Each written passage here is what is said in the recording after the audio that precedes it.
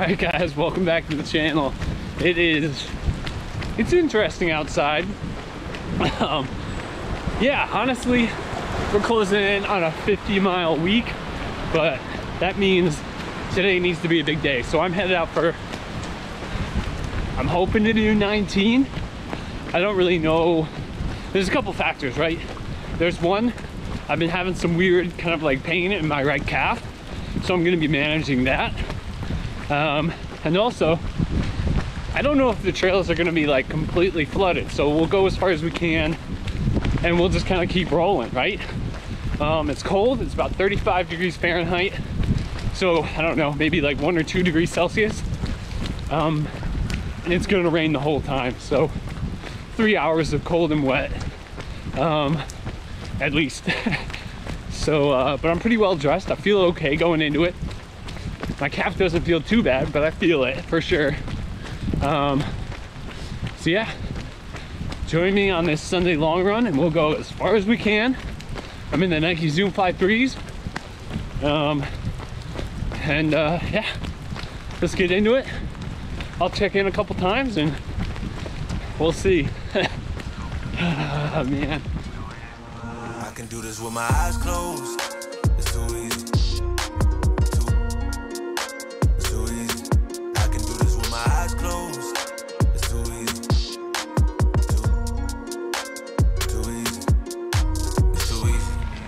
1.8 in and I already went like four foot deep in water.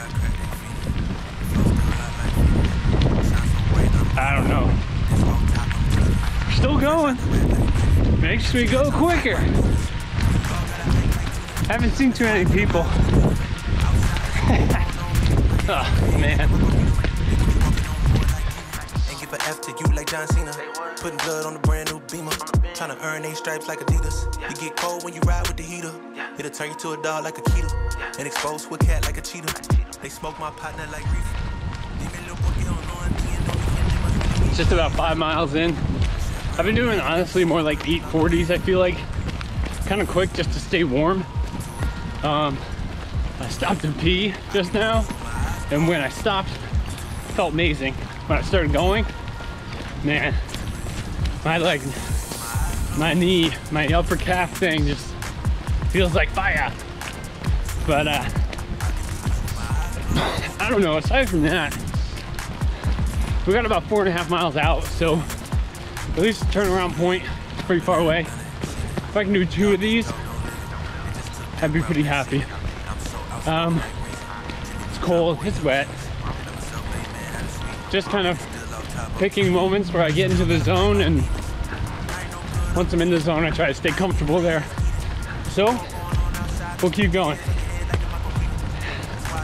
Loving it. It's the same old game, ain't nothing really changed but the mileage on the meter of the beamer. You get cold when you ride with the heater. It'll turn you to a dog like a keto. And expose to a cat like a cheetah. They smoke my partner like reefer. Dímelo porque yo no entiendo mi gente must really need Jesus. He said real blood, I never seen the crypt and I believe it. All right, 9.72 in. We're doing about 820s. Now we're in 26 minutes. Uh, just took my second gel. Honestly, today's kind of a battle. And like, I'm here for it. But um, I think this will be my last check-in. Right now, I honestly just gotta work on kind of battling with today. And I'll shoot a little bit more. But then we'll just check in back at the apartment and we'll see how this goes because I still got I still got a lot ahead of me. And uh yeah. we're cruising, but we're cold, we're wet, my knee kind of hurts. But like let's battle this and let's do it. Um yeah. So next time you see me I'll have answers for you. All right. Sunday morning. Still going.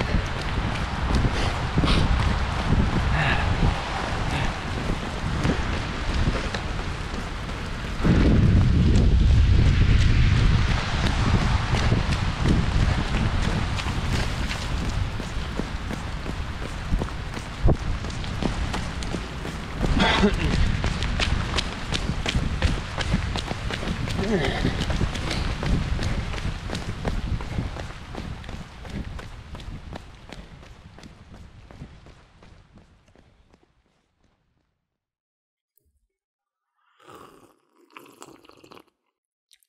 is a perfect vanilla latte. Mmm, oat milk. So good. So good. Okay, so as you can see, we are back in the apartment. I am comfortable. I am not out in the rain any longer. We're gonna talk about the 17.19 miler. I'm gonna talk about why it was one of my best runs ever. I'm going to talk about why it was one of my hardest runs ever. And then I'm going to tell you about why it's now Friday that I'm filming this and I have not uploaded anything since this 17 miler last Sunday. But first, why was this my best 17 miler ever. This is one of my best workouts ever. And that's, I mean, that's an easy one because you can look at the stats, right? This is the longest distance I've ever averaged under nine minute mile pace, which my ultimate goal for this year is that 330 full marathon. So being able to do a 17 miler at just over 830, 836 average pace while getting stronger throughout in terms of splits was a huge positive for me. And I thought in like on top of that, like my effort, I did not feel like I was cardio wise, like at all getting pushing myself really to a state of fatigue.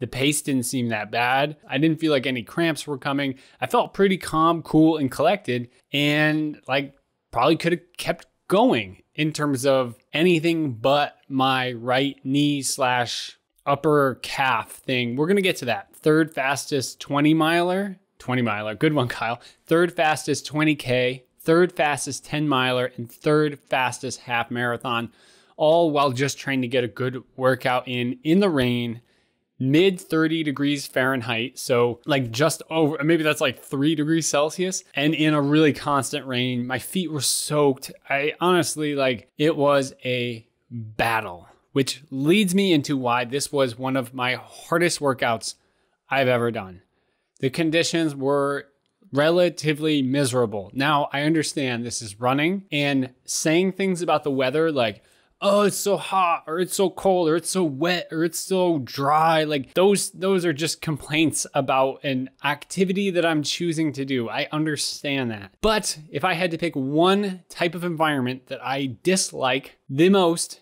it's going to be that just over freezing temperatures with a consistent rain and it's been raining the previous like 12 hours. So you're going to get soaked. So that in itself for me was a real battle. On top of that, my upper calf slash outside of my knee, my right knee, has been kind of giving me this almost like almost like a nerve pain. Like it's not, it's really weird. It's not it's a really weird pain and it's really kind of random. And as I was getting into this run, I really didn't feel it much for the first couple miles, the first five, six miles. And then all of a sudden, piercing down the outside of my hamstring, finishing off kind of at that spot behind, on the outside behind my knee. And it was just consistent, man. Like it, that's honestly why this workout was titled This Was a Battle, because I really felt like I was battling against a lot of things but also like really wanted to get the workout in. Like I know that's stupid in terms of like if you have an injury, you should listen to your body. But at the same time, I feel like this goes hand in hand with why we run. Like I get, I I, I accept. I signed the contract that what I do and what I am passionate about causes constant suffering. This is voluntary. I'm about it. And so this was a huge battle and one of the hardest workouts I've ever done. And it hurt, man. like it really freaking hurt. But I'm really glad I got it done. Like I, I, I feel like I'm a better, a stronger runner. I was gonna say person, but I, I think that's going a little bit far here. Um, but I think I'm a stronger runner for just getting this one done, which leads me into the final little portion of this video, and that is gonna be, you know, I've been resting. I, I was I woke up on Monday after the 17 miler on Sunday, and I could like barely put any um, like lateral movement slash weight on my right knee. So I instantly kind of went into rice mode. Right, I was like, oh, okay, I'm resting. I'm um, icing. I'm compression, and I'm elevating. Like do these things constantly. I've been really just kind of maintaining and kickstarting, you know, really trying to get through any sort of a recovery process. And today I even booked an appointment. It's really far out and I don't, and I'm going to have to try to figure something out in terms of seeing a doctor sooner. But yeah, it's just like one of those pains that in my gut, it's telling me it's like, it's, it's not good. Um, who knows? That I guess I am not a doctor, so I can only trust my gut and, you know, go with, go with what that is telling me. But I will say I am feeling loads better. I like outside the apartment today, um, just kind of on a little section of the sidewalk. I kind of just, you know, jog 10 feet, stop. How does that feel? Okay, no pain. Jog 12 feet. Okay, no pain. And then came back up to the apartment literally right before filming this. And so, like, I'm feeling it's feeling much better, but I'm really concerned that if I do go too far, um, I'm going to start really getting that knee pain again. So, what we can do is continue to hit the rice system. And I'm going to be implementing, you know, on Sunday, I'm going to try one mile. And like, I'm, it's literally going to be around the apartment complex. If at any point I'm feeling some real pain after giving it a week of almost complete rest, I'm, I'm going to, I'm going to stop there. And then I'm going to try to get in to see a doctor even sooner. So this kills some of my annual goals of say 2000 miles for the year, but like I said at the beginning, like if I run 1800, still more than last year. It's still progress. We're still getting better and we are going to keep going. Overall mentality, that is the mantra for me for the year. It is keep going you know, whatever your goals are, whatever it is, just keep just get better. Just just focus on the little baby steps that are going to make you better. That is going to wrap up this video. I have been rambling on long enough. It's been over a week since I've uploaded, which is weird for me so far this year. A little bit of a down funk, but hopefully this video gets you a little bit more amped up for what is to come. We will be recovering and seeing how things go. Uh, if you if you enjoyed the video, if you stuck around to the end, thank you. Please feel free to like, comment, or subscribe. And as always, enjoy the run out there, people. I'll see you in the next video. Keep going. I'm gonna finish my latte because it's probably about the perfect temperature now. It was way too hot